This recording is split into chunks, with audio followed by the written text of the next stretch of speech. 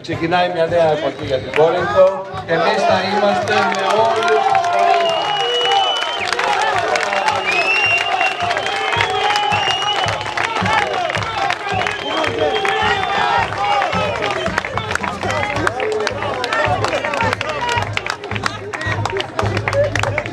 αποτελέσματα των ε, εκλογών με όλα τα τμήματα βεβαίως δείχνουν ότι η νικητής των ε, εκλογών είναι η Συμμαχία των Πολιτών και η καινούργια Δημοτική Αρχή θα είναι ο δικός μας συνδυασμός.